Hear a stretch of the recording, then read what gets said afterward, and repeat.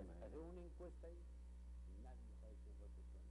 Estás en la encuesta de, de todos los que van a venir a petróleo y Nadie. el 5% sabrá.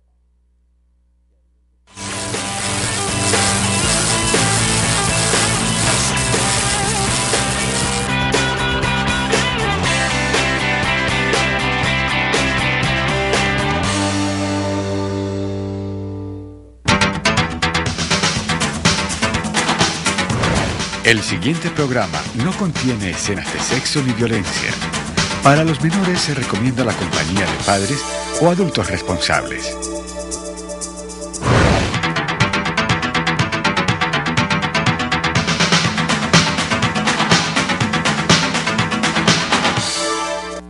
¿Cuántas cosas pueden pasar en 3.600 segundos?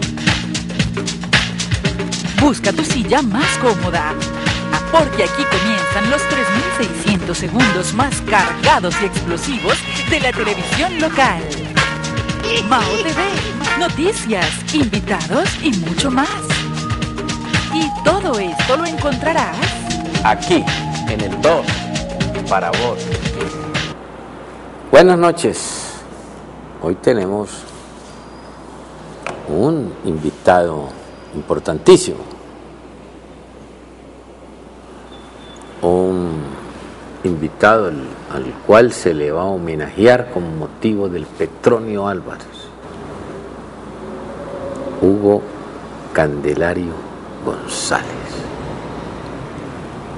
Hugo, ¿qué tal? ¿Cómo te va? ¿Qué has hecho? Me place mucho tenerte aquí. Muchas gracias, profesor. A mí también muy contento, muy agradecido de estar aquí en su programa. Cuéntame, el Candelario, ¿quién te lo aplicó? ¿Tu papá o tu mamá?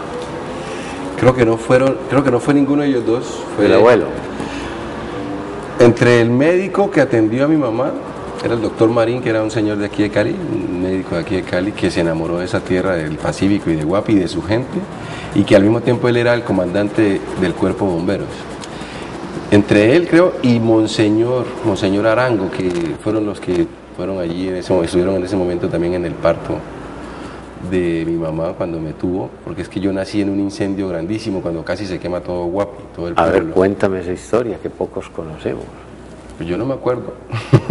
¿Qué te contaron? Que me contaron, que me cuentan, me cuentan mis hermanos, me cuenta mi mamá, mi, cuando estaba vivo mi papá.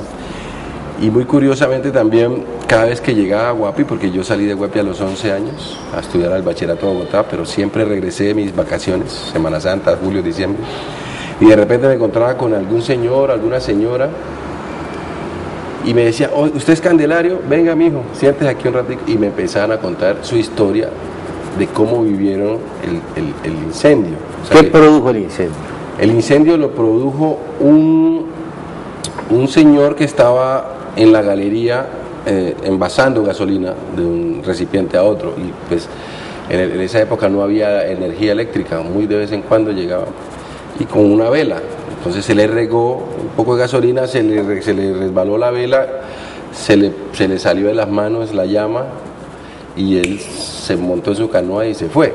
Y entonces el auxiliar, el- la- eh, eso explotó, el auxiliar de gasolina. Entonces, en esa época la mayoría de las casas eran de madera, Claro. techos de zinc, de cartón, de paja. Eh, 10 de la noche de un 11 de febrero, yo nací el 12, eh, entonces eso con el calor de una se prendía la otra. Se prendieron, en esa época habían tres calles principales, que son carreras en Guapi.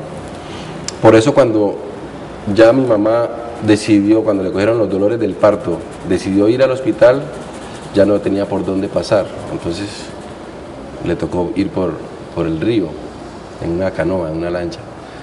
Alguien iba manejando y, y alguien, alguien llamó al que iba manejando, que eh, dice la historia, he escuchado, no, no lo tengo completamente confirmado, eh, porque unos dicen que sí, otros dicen que no, que el que iba manejando la lancha que llevó a mi mamá al hospital es mi maestro de marimba, que es José Antonio Torres Gualajo, el maestro que recibió hace poquito del Ministerio de Cultura el premio a toda una vida, el, homenaje a toda una vida eh, en la cultura. Y entonces, claro, casi nazco en la canoa, casi nazco en la lancha y alcanzó a llegar al hospital mi madre y cuando nací si no estoy mal fue el doctor Marín o bueno, Monseñor, no sé, le dijeron, nos te nació un candelario, Aurelena. Y el Hugo sí creo que lo puso mi papá, el Hugo. Entonces, ¿Y el candelario era por la candela o qué? Por la candela, por el incendio, por el incendio. Y pues así me quedé con mi chapa, que me sirve hoy en día como una chapa artística. pues. Claro, claro, claro. Es más, yo creía que era artística. No es de pila, es de, De pila. nacimiento. ¿Cuántos hermanos son ustedes? Somos nueve, soy el menor de esa gallada. Tú eres el menor. El menor, había una apuesta, ¿no? Eran cuatro mujeres, cuatro hombres hasta ese momento. Sí. Entonces había una apuesta de una, o una caja de vino para las mujeres, o una, pues una- un cartón de vino, de, de botellas de vino, o un cartón de aguardiente o de whisky, no me acuerdo qué era la apuesta, si la hacía varón. Y, pero bueno, la fiesta se aguó, pues obviamente con el, con el incendio.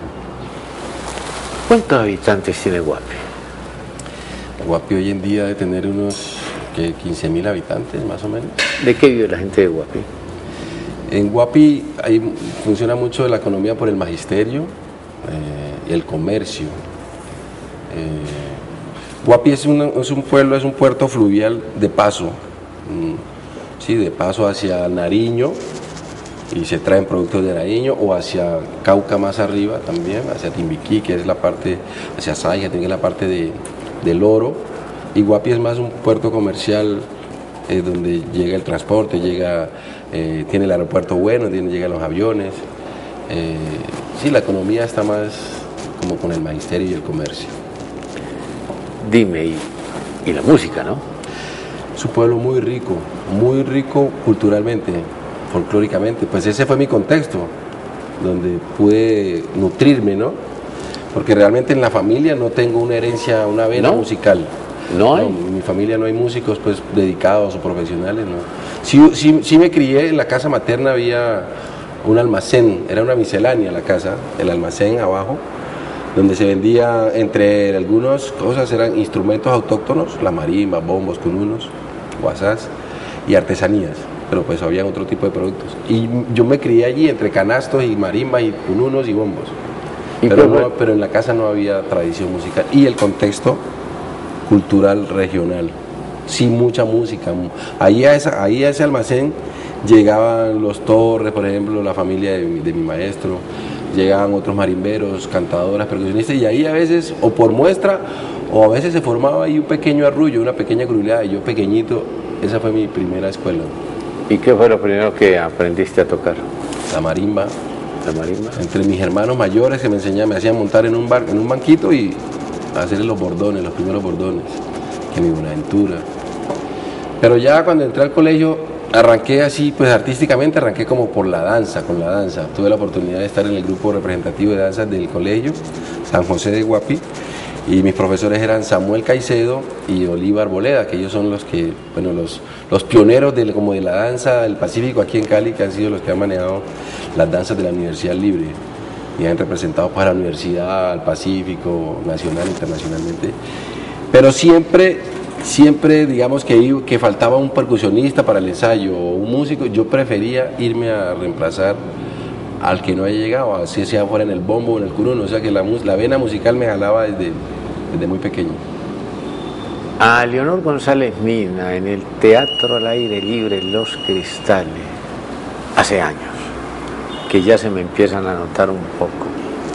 Le escuché, tío Guasupecito, siéntese, siéntese, siéntese, paradito nada más, mi sobrino. Se me quedó ese verso. ¿De quién es ese tema? No estoy muy seguro, profe, pero creo que es de Antero Agualimpia, que es un gran maestro de la tradición, pues recién se está dando, se- la historia está reconociendo y contando, estamos contando y recontando nuestra historia del Pacífico y él es uno de esos juglares y, e instrumentistas maestros del Chocó, de la parte de la chirimía, gran clarinetista. He escuchado que ese tema es de él, este tema es una alusión, es como un cuento, algunos le dicen alabado, pero no es un alabado, es un cuento que narra la historia así del guachup, es el, el guachupé, es, un, es un pez, es un, pero es un pez negro, largo y flaco. Entonces a todos los negros, largos y flacos, en el Pacífico le decimos tío guachupé, guachupecito. Ah, es guachupecito, yo creía que era guasupecito. Guachú, Guachú, guachupé, guachupecito. guachupecito. Ah, Entonces eh, tiene el cuento y se va acompañando, la historia se va con, con- con- con la canción, con la, con la letra. bueno, y ya tu formación musical, ¿cuándo parte? Mi formación musical eh, académica oficial es en el conservatorio aquí en Cali, en Antonio María Valencia, paralelamente con el IPC, Instituto Popular de Cultura. Eh, fue paralelo en 1987. Yo me radiqué en Cali en el 85, siempre quise vivir en Cali. Pues me mandaron muy tempranamente a, Bogotá a hacer el bachillerato, de ahí pasé a Barranquilla, a la, la Marina, pero por fin la logré en el 85 radicarme aquí.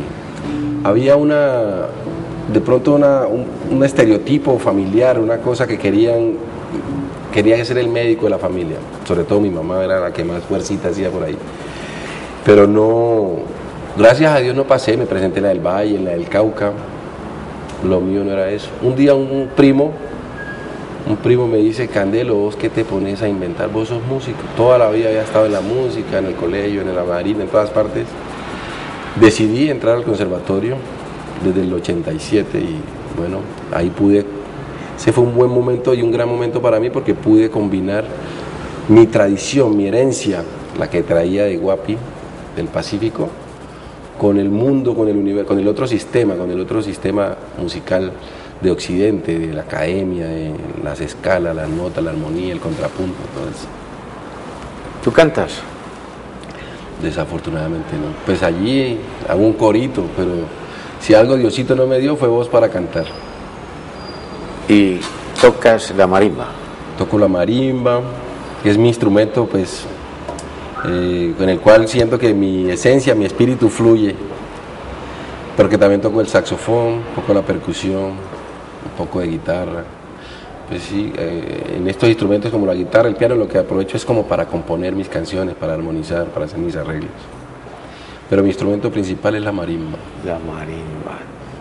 Dime, eh, Candelario, ¿cuál ha sido tu recorrido musical? Bueno, siempre ha sido como bandera la marimba, ¿no? Sí. Desde muy pequeño, como le digo, en Guapi, en el colegio también, estuve todos los grupos representativos del colegio en Bogotá, en la Marina, en la banda de música, en la banda de guerra. Eh, y desde que empecé a estudiar música, que, que decidí, bueno, Bahía nace en el 87, también 86, 87, me encuentro con un amigo aquí en el Templete, yo vivía aquí en el Templete, en una esquina por acá, estaba yo en el antejardín de mi casa, tocando mi flauta, y pasó un vecino con otro amigo que iba con una guitarra, se llama Fernando. ¿Flauta de millo? No, flauta dulce. Dulce. Flauta dulce. Y eso fue química musical a primera vista. Y eh, allí nació el Grupo Bahía de una manera muy aficionada y muy amateur. Eh, cuando decidí estudiar música, bueno, ya fui dándole el perfil al Grupo Bahía, que ha sido como mi espacio, mi proyecto de vida musical. Pero además de eso he tenido la oportunidad, pues, con Bahía y con otros proyectos, viajar por todo el mundo. He tenido la oportunidad de ir a casi todos los continentes, falta que Australia, Oceanía, de resto he estado en África varias veces, en Asia, casi toda Europa, toda América. He hecho música para teatro, para cine, para ballet, para propagandas, jingles, para música tradicional, popular, popular bailable. Me, me he acercado a los terrenos del jazz un poco, al terreno del latin jazz, al, al terreno clásico. También he hecho música para, del Pacífico con la Sinfónica del Valle, con la Filarmónica de Bogotá. Eh, bueno, mi eh, bueno, y también he estado siempre pues como bandera la música del Pacífico, la marimba y esa, esa, ese- esa inquietud de, de sacar mi música adelante, mi marimba, mi, mi- mi música del Pacífico. Bueno, alguna vez en el año 88 creo, fui al, al último festival grande que hubo de- del Curulao en Timbiquí. Timbiquí es una población del, río, del, del departamento del Cauca, el río Timbiquí, Santa Bárbara de Timbiquí. Y bueno, el concurso, muy chévere, todo el día, todos los días, la música folclórica, la marimba sonaba, pero por la noche sonaba, era, pues obviamente, la salsa, las baladas, los boleros, no sonaba, no estaba la música nuestra de marimba grabada.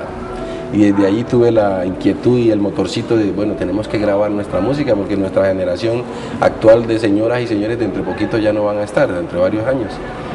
Y desde ahí tuve esa inquietud de, de empezar a grabar y a gestionar cómo grabar y pro- promocionar y, buscar apoyo para grabar la música de marimba.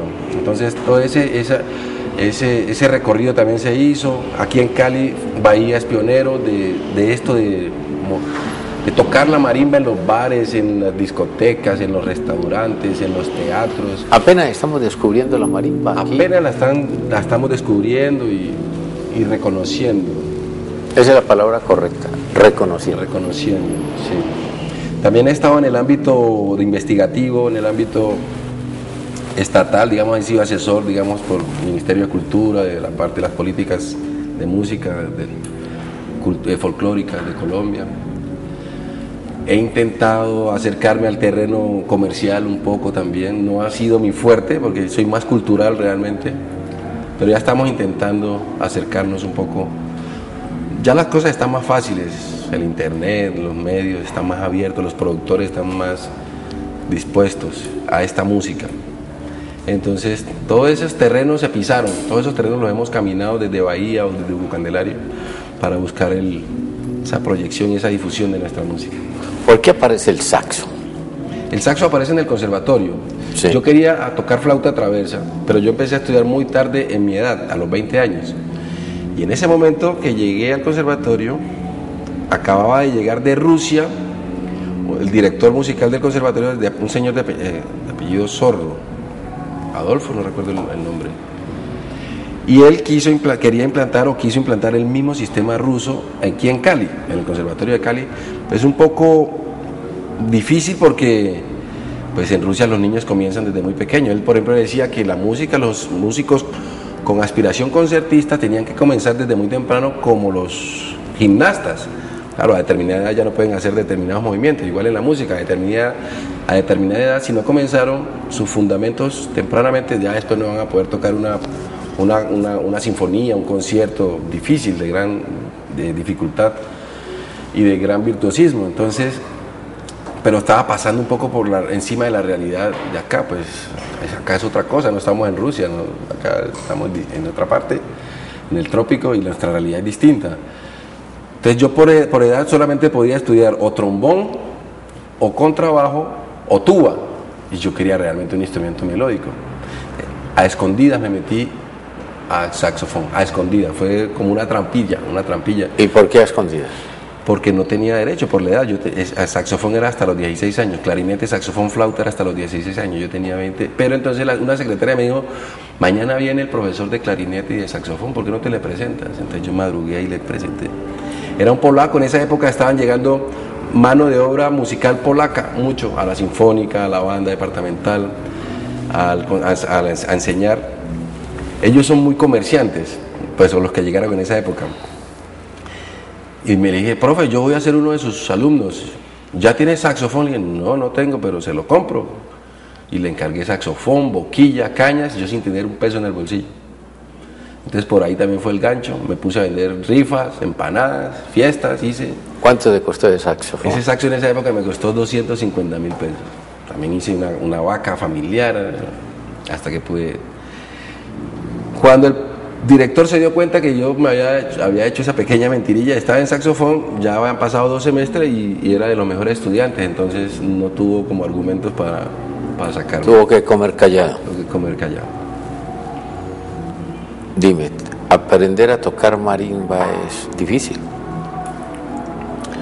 Es relativo, profe. Es fácil, es muy fácil porque es como una flauta dulce. O sea, una flauta dulce usted sopla y suena. Una marimba usted la toca y suena. Hay otros instrumentos que hay que hacer un proceso para que el sonido salga, salga bonito, redondito. Una marimba usted la toca y suena. Y es muy sencilla en ese sentido. Y, y las bases. O sea, la música del Pacífico es tan elemental a veces que usted con un bordón, con un una cosa tan sencilla como tu ti, tum, ti, tum, ti, tum, tim, y un bombo, con eso ya se puede formar una gozadera, una tarde de, disfrute y de baile, con eso nomás. A diferencia de otras músicas o de otros sistemas que hasta que no pasen meses que no domine ese instrumento no, no puede pasar eso.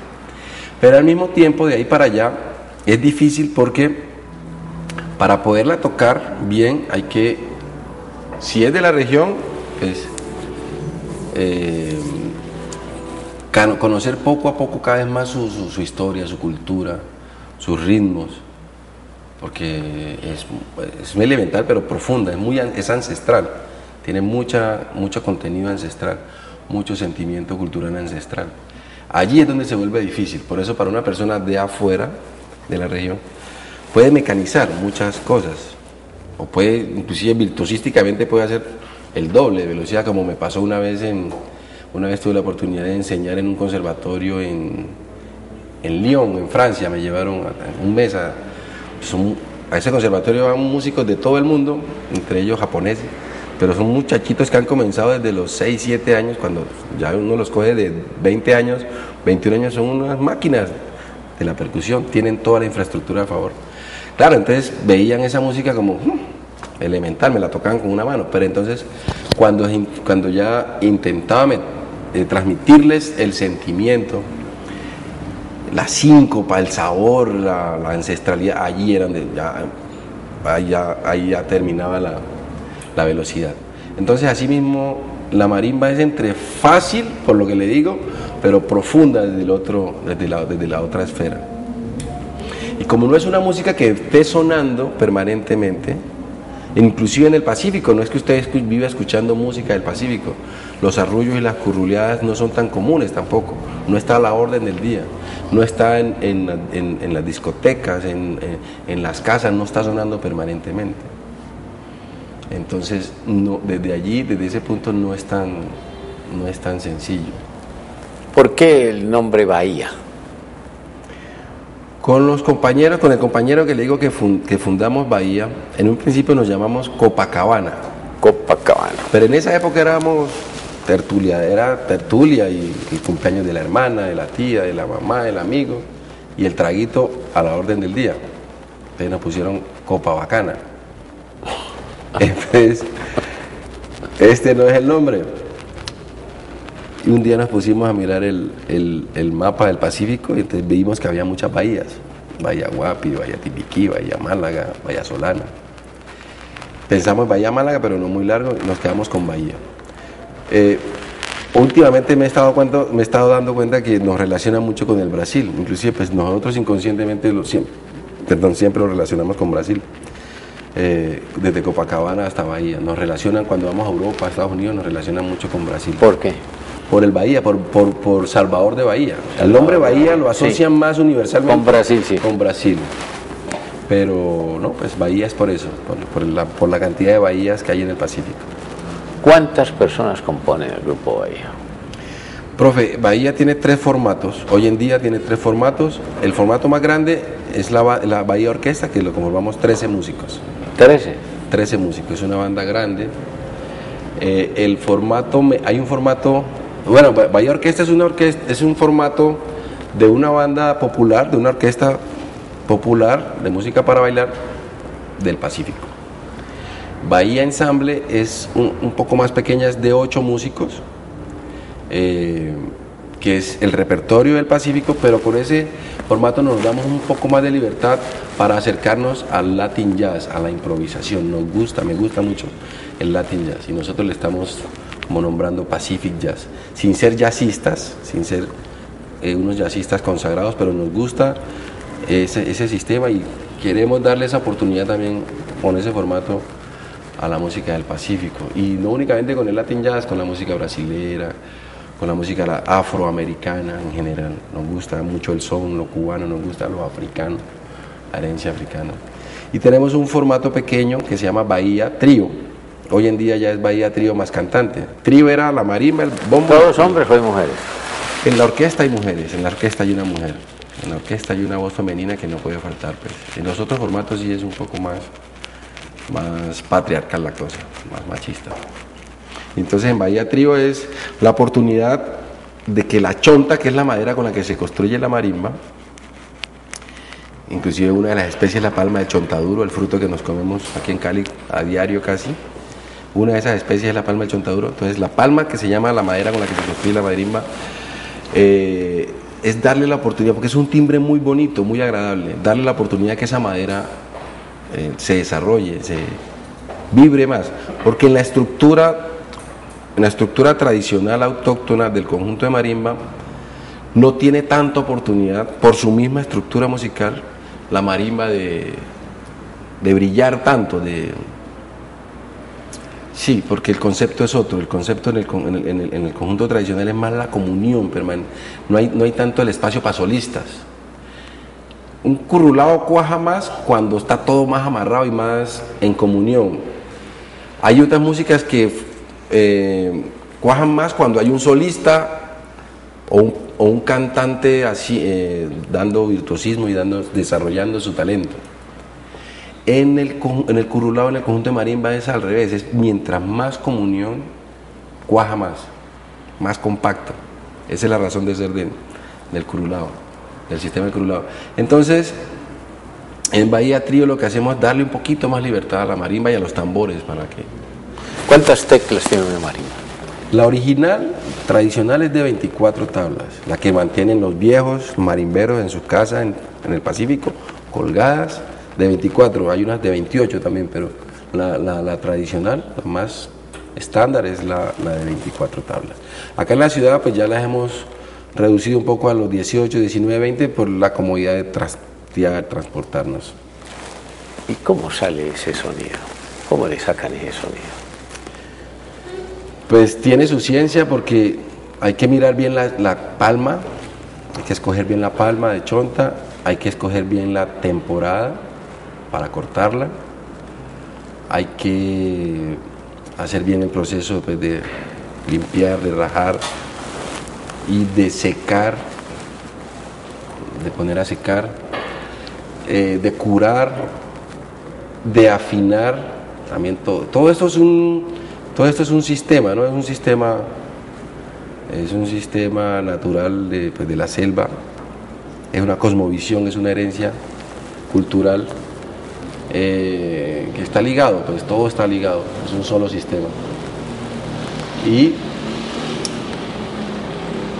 en la afinación, de la, o sea, de, la, de, la, afinación de cortar la tabla depende, digamos, la afinación, en la altura, la altura de, la tabla.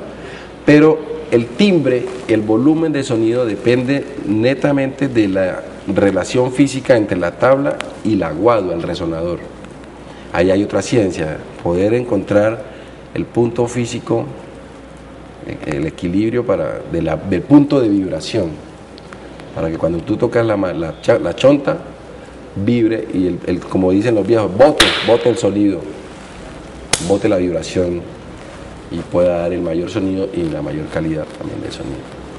¿Cuánto vale una marimba? Es muy relativo. En el Pacífico, bueno, hasta hace poquito era muy barata, se han ido valorizando obviamente.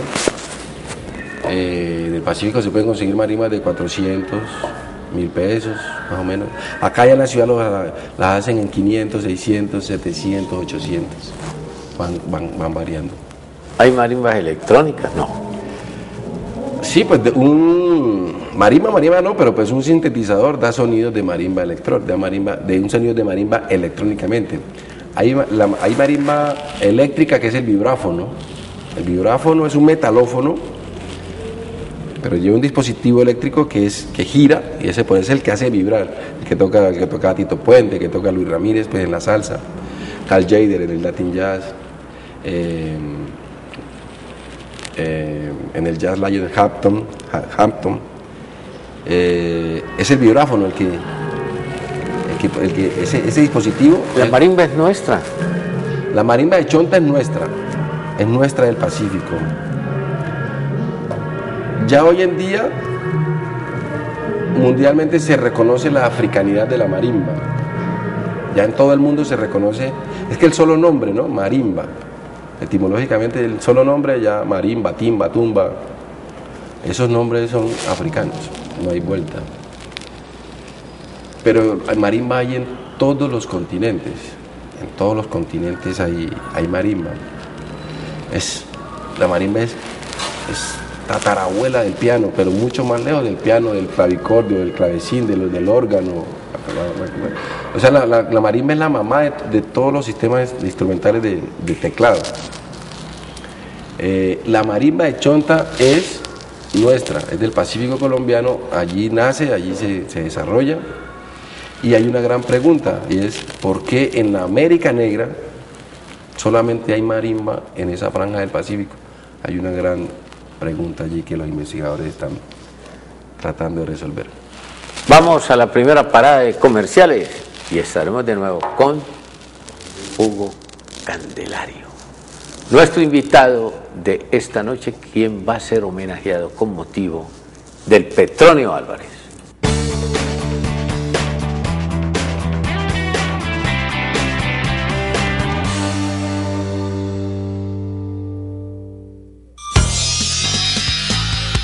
Estás viendo Canal 2, el canal de nuestra gente. Aquí, en el 2, para vos. Maximice sus objetivos de mercadeo mediante la promoción de su empresa a través de nuestros canales de difusión. El programa El Corrillo de Mao por la 89.1 de la FM, El Corrillo Estéreo y la Lulada Estéreo en nuestra web www.elcorrillodemao.com y Mao TV por el canal 2 de Global TV. Comuníquese con nosotros a acertar publicidad. Teléfono 668-8242 o 668-6148. Acertar publicidad, su mejor opción. Gracias a la Fundación Sarmiento Palau y el Ingenio San Carlos, la Escuela Carlos Sarmiento Lora mantiene su liderato a nivel mundial. que aquí al niño lo tratamos con, con- con afecto, con cariño. Le damos la doble función, formar al hombre luego al deportista. Son ya 25 años con los mejores profesionales formando futbolistas. El apoyo moral y futbolístico de todas las personas que, que trabajan en la escuela en su momento aportan para que en este caso yo haya podido estar donde estoy ahora. Inscríbete en la Sarmiento y juega como los grandes.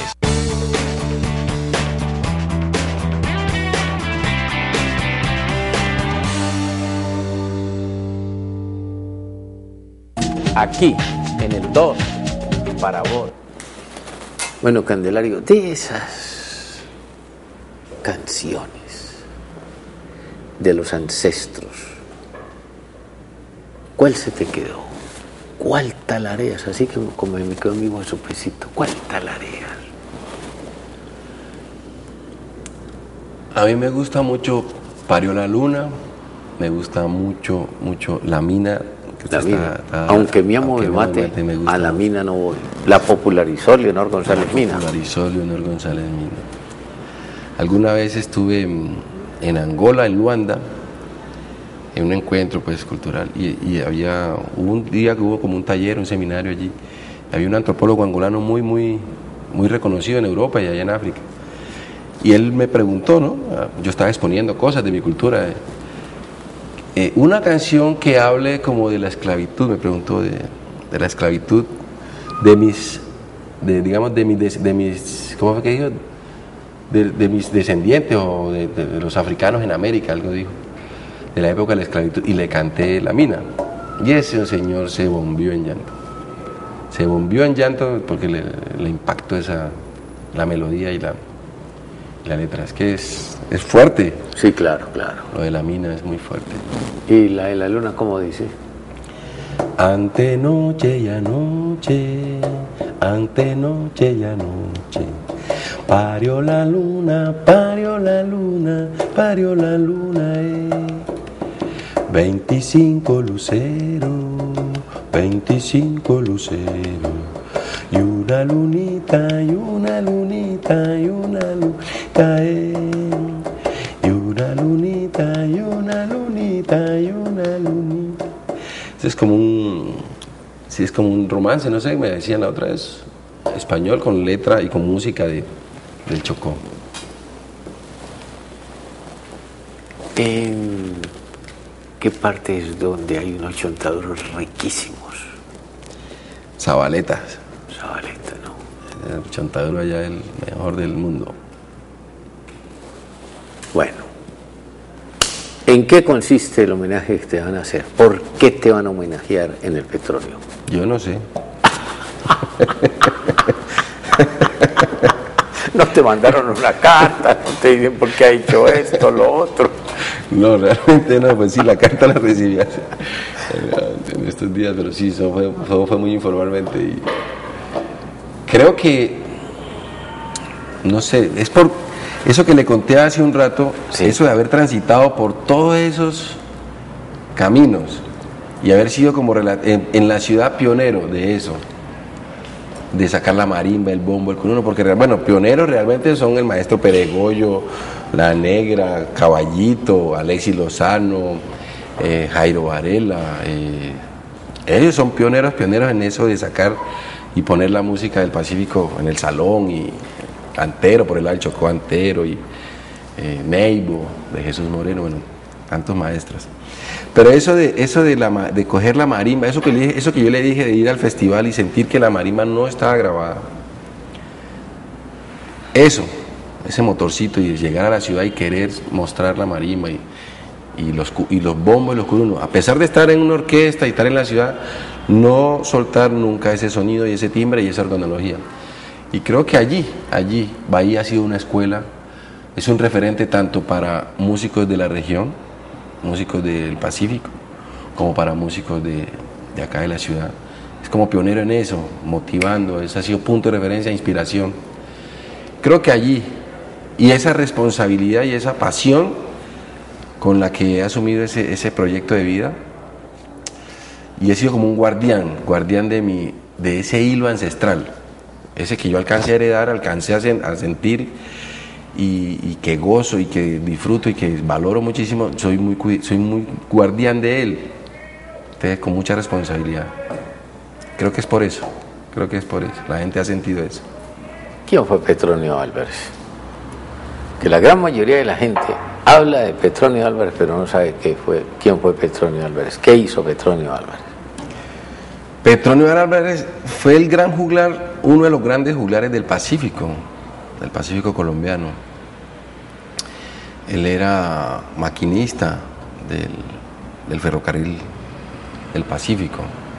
O sea, tenía mucho contacto con, con la ciudad, con Cali, bueno, y, y todo su recorrido. Y era de, nacido en Buenaventura. Dicen, no lo conozco, bueno, soy muy amigo de su nieto, de Esteban, Esteban Copete. Eh, era, era bohemio, le gustaba pues guitarrear, traguito, eh, mujeriego, bohemio, pero él cantaba de todo, dicen los que lo conocen, me dice Germán Patiño, el doctor Germán que, lo, él cantaba tangos, cantaba bambucos, boleros, baladas, eh, era versátil. Pero en su pluma, en su pluma, en su sentir, cuando ponía la música, el Pacífico era un gran pintor musicalmente y un gran poeta. eso. Porque la música del Pacífico no se, nuestra no se caracteriza mucho por la, por, por la lírica, ni por la, ni por la prosa, ni por la literatura, ni el desarrollo literario en, su- en- en sus letras, sobre todo acá en el sur, en el sistema de marimba, en el Chocó un poco más. Y él fue de esos pioneros en ese sentido, unas letras y un sentimiento y un sabor también universal, era un compositor universal de Buenaventura, eh, murió hace que, no recuerdo, hace unos 20 años, no sé, creo que un poco más. Y en homenaje a él, pues se realiza este festival. Se le debe a Germán Patiño, ¿eh? Se le debe a Germán Patiño, el doctor Germán, él fue el, el- el papá, el creador, el, Sí. el ideólogo de que se craneó ese festival fue él cuando era secretario, cuando era gerente cultural del departamento con, Así es, sí. con Germán Villegas, que era el gobernador en ese momento. Y un tema del petróleo se convirtió en disco de la Feria de Cali. Un tema de petróleo, mi Buenaventura en su momento, ¿no? Sí, Hace muchos años, obviamente, con la versión de Peregoyo, claro. correcto, de Peregoyo. Y un tema que salió del petróleo se convirtió en disco de la Feria de Cali, uno de Alexis.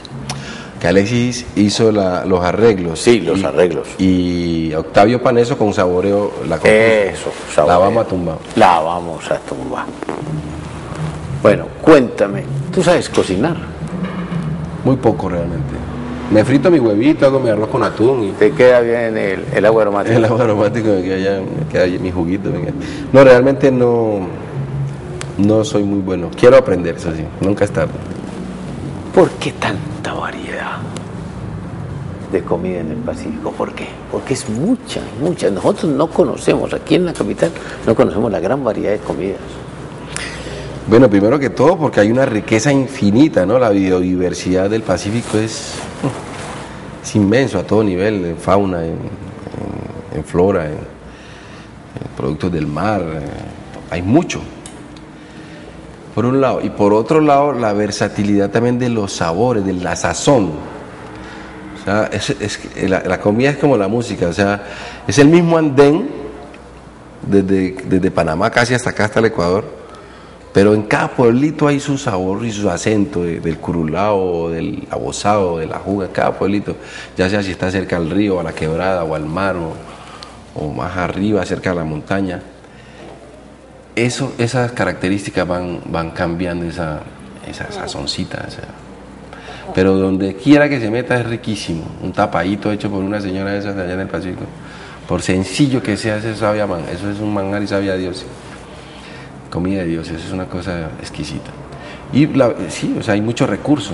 Bueno, había, porque ya se lo están, lo están agotando, lo están cambiando por otras sembrados y por otras cosas que no acaban la, la- acaban la versatilidad y la, la riqueza. ¿Cuándo actúas tú en el petróleo?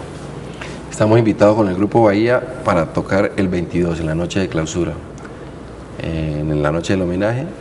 En el momento que, que el jurado está deliberando, ahí se aprovecha siempre para invitar uno, dos o tres grupos y allí en ese momento vamos a tocar. Todos los días se aumenta ¿no? la participación del petróleo Álvarez, todos los años. Todos los años va, inclusive la, la extranjera, eh, cada vez viene más gente, más público. eh, va cogiendo más fuerza a nivel nacional, internacional, regional.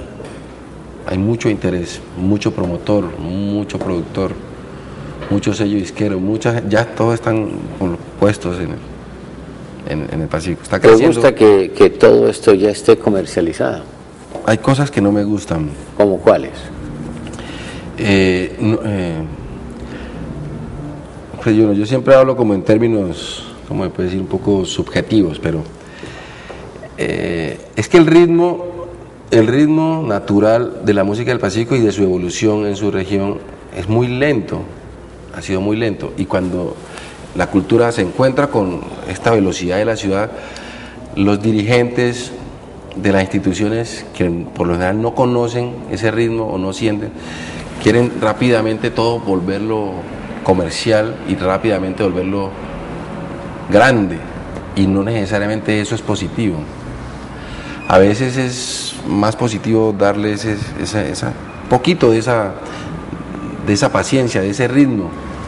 Por ejemplo, el río Guapi sube, sube seis horas hacia, bueno, baja seis horas hacia la desembocadura y sube seis horas a su nacimiento.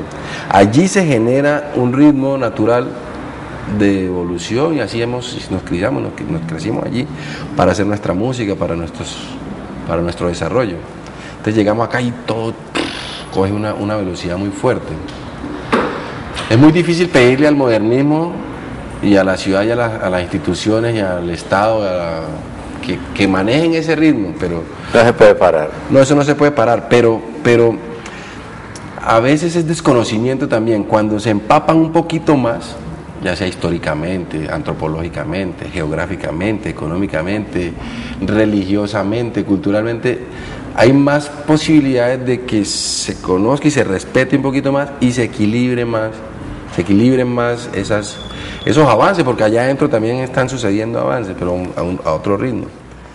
Entonces, muchas veces allí ese ritmo de afuera atropella un poquito lo de adentro, porque es que sin lo de adentro, sin esa manifestación interna ancestral, no existiría petróleo. El día que, si eso no está, si eso se, se- atropella mucho, pues no queda nada, queda en el aire. Entonces, eh, valoro porque también nos da oportunidades, Un gran espacio, ¿no? gran espacio para mostrarnos, para conectarnos con el mundo. Es nuestra, es nuestra ventana ante el mundo, es nuestro, es nuestro momento en el presente para mostrarnos, para decirnos, hemos estado tantos años allá en el Pacífico, muy cerca pero muy lejos, con toda esta riqueza para nosotros y para el mundo. Y allí, allí es un momento bonito, importante, eh, oportunidad económica, oportunidad de investigaciones, para proponer que haya academia, que haya producciones, que haya investigación. Bueno, todo eso va generando desarrollo también. el único, lo único que yo hago es decir, recomendar mirar un poquito más adentro, conocer un poquito más adentro y, se, pueden, se pueden nivelar y equilibrar un poco más las cosas. ¿Te gusta que el Petronio tenga como sede Cali? Me encanta. Me gusta porque en Cali nos sentimos muy bien. Si en el Pacífico tuviéramos la infraestructura, si en el Pacífico tuviéramos la infraestructura, pues el espacio ideal para hacer el petróleo o alguna manifestación del Pacífico es allá mismo. Es lo mismo, haciéndole un paréntesis, si, en, si Buenaventura o en Quibdó o en Guapi o en Tumaco hubiese la infraestructura para hacer un, eh, para hacer un conservatorio de música, el lugar para, para hacer ese conservatorio es allá en el Pacífico mismo, no tener que venir hasta acá. Pero como allá no está la ciudad más adecuada y más cercana y donde nos sentimos más cómodos los, los habitantes y los oriundos del Pacífico, es Cali. Y nos, recoge, nos acepta, nos sentimos chéveres, deliciosos. Este para mí este es el mejor vividero del mundo. He tenido la oportunidad de quedarme en cualquier ciudad del mundo y siempre he querido regresar. Me, me encanta. Y creo que la mayoría del Pacífico, de los nativos del Pacífico, nos pasa lo mismo, sentimos lo mismo. Vamos a la segunda parada de comerciales y estaremos cerrando este diálogo con nuestro invitado de esta noche, Candelario, Hugo Candelario González, quien será homenajeado con motivo del Petronio Álvarez.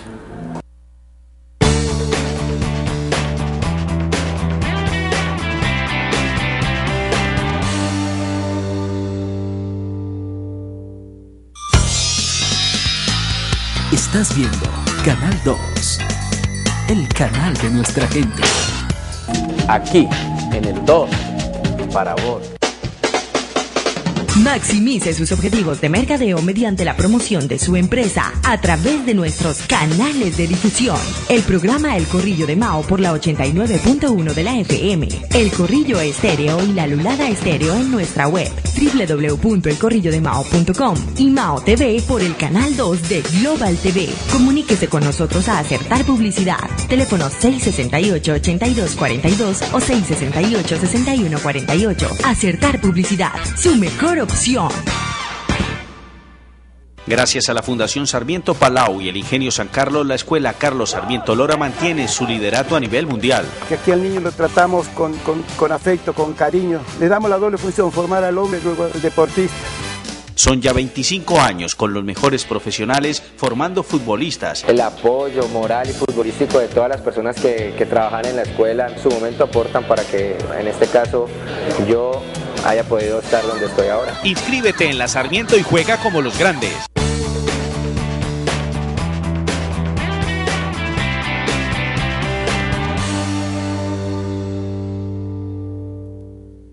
Aquí, en el 2, para vos. Tus trabajos, eh, Candelario, ¿cuáles son? Tengo eh, cinco trabajos discográficos. El primero es Con el corazón cerca de las raíces, se llama, con, eh, con la banda, con Bahía Orquesta, 1998. Ese es, un, ese es un clásico, ese disco. Ahí hay temas clásicos como el Birimbí, como Te Vengo a Cantar, La Caerona, San Antonio. El segundo es Cantaré, no fue tan, no repercutió tanto, no trascendió tanto como el primero, con la orquesta también. El tercero es Pura Chonta, que es del trío, es instrumental, mejor disco del año de Colombia en el 2005. El cuarto es Pura Chonta recargado, ya con el Bahía Ensamble. El quinto se llama Mulataje, que es con el trío, ya con el cantante, tercer mejor disco de Colombia hace dos años. Grabé algo, grabé un disco con la Sinfónica del Valle, también con la Filarmónica de Bogotá. Grabé otro disco con la UNICEF, con la Universidad del Valle, ecológico. Y en este momento Estoy retomando, bueno, eh, hace un año había comenzado a grabar con el maestro Jairo Varela. ¿Sí? ¿Estabas grabando con él? Sí, me había puesto toda su infraestructura del grupo Nietzsche del estudio para grabar el, el siguiente disco del Grupo Bahía en formato de orquesta. Íbamos por la mitad cuando, bueno, desafortunadamente se nos fue. Fue un golpe muy duro, paré mucho tiempo, ahora he retomado. He decidido sacar temas, las cosas han cambiado, ¿no? Ya de pronto sacar el disco completo no es el objetivo, es, de pronto ahora es más efectivo ir sacando temas con su respectivo... ¿Y cuál es el tema que quieres impulsar? Hay uno que se llama Siempre te esperé. Es un tema suave porque hay una fórmula que ha gustado mucho de, en Bahía y el Pacífico, es el aguabajo. Yo le llamo aguabajo son. Es, es suave, cadencioso, pero, pero gusta mucho. Y estoy explotando un poco esa, esa, esa, esa fórmula que ha sido exitosa. Entonces ese tema se llama Siempre te esperé. A él particularmente le gustaba mucho. Él el tema es eh, bandera de esa producción que él me llamaba a veces en cualquier momento y me decía, Candelario, escucha lo que estoy haciendo con tu canción, eh, buscándole en la mezcla, buscándole. Ya le hice el video con Johnny Hendrix, el productor de la película Chocó. Ya hicimos el video, ya lo estamos editando y ya estamos mezclando, ya dentro de poquito lo sacamos al aire. Eso sale para diciembre. Para ahorita creo. Yo creo que ahora para, fin- para, para- para finales de Petronio alcanza a salir. No me Al digas. menos la canción. No el video, pero sí el tema. El tema. El tema sale. ¿Quién te maneja esa parte? Pues, profe, estoy, a mí me toca de todero, por ahora. Estamos, bueno, hoy que usted me llamó, estaba en una rueda de negocio, la primer, el primer mercado de música del Pacífico en, en Cali. Este Era el primero, yo acababa de llegar del BON de Bogotá con Fernán Martínez. Estamos metiéndonos en ese terreno también, aprovechando que pues eh, grupos como Chokip Town, Herencia de Timbiquí han ido también abriendo espacio, abriendo caminos, comercialmente hablando. Entonces hay que estar ahí en ese movimiento, en esa, en esa, en esa dinámica para no quedarse atrás y estar proponiendo también. Por ahora yo, pero entonces la idea es conseguir un buen manager, un buen productor que se, que se interese en No, muy importante que, que le hagan llegar a uno el tema a la emisora y con mucho gusto te ayudo. Cuenta con eso. Profe, claro, ya prontico en esta semana se lo hago llegar. Házmelo llegar, con mucho gusto, ni más faltaba, hombre. Muchas gracias. muchas Hay recepción de la gente. Sí, sí. Como decía, eh, por ejemplo, en el pues hablo de mi experiencia, Bahía todavía el ámbito comercial no lo manejamos mucho. En el ámbito cultural somos muy reconocidos, muy, o sea, podemos ir a cualquier ciudad de Colombia, bueno, y en el exterior también. Pues casi siempre vamos con, esa, con ese sistema, con el- en, el- en ese ámbito de lo cultural. O sea, si vamos a tocar, eh, por decir algo, en una discoteca de Juanchito o de Menga, así difícilmente la gente va a ir masivamente a una presentación de música del Pacífico. No es, eso ese, ese punto todavía no es, no es no es garantizado para el promotor, para el dueño de la discoteca que se le va, que, le va, que va a ser un éxito. ¿no? En ese terreno comercial todavía es relativo. Pero estamos apuntando un poquito también hacia allá. Primer par de palos con que tocan la marimba, ¿cómo se llama? Son los tacos. Hay gente que le dice baqueta, pero son los tacos. Y que la punta lleva caucho, caucho natural. Se le mete el hacha o el machete al, al palo, sale, se recoge la leche, una leche blanca nomás, se recoge en el recipiente, se deja, luego se extiende en tablas y eso se seca y es látex, caucho. Y con eso se toca, y por eso ese sonidito como agua, ¿no? Yo digo que la música de marimba, profe, es agua que entra en los oídos, al, al cuerpo, pero por los oídos. Así le digo a la música de marimba. Bueno, mi querido Hugo, muy amable, hombre, por haber estado aquí con nosotros y, y poder intercambiar estas ideas y felicitaciones, porque se te hace un reconocimiento a tu trabajo, a tu labor, a tu lucha, a tu dedicación. Muchas gracias, profe. Muchas gracias. Y a ustedes la invitación muy cordial para que mañana de nuevo estén con nosotros aquí en Mao TV. ¿Cuántas cosas pueden pasar en 3.600 segundos? Busca tu silla más cómoda, porque aquí comienzan los 3.600 segundos más cargados y explosivos de la televisión local. Mao TV, noticias, invitados y mucho más. Y todo esto lo encontrarás Aquí, en el 2, para vos.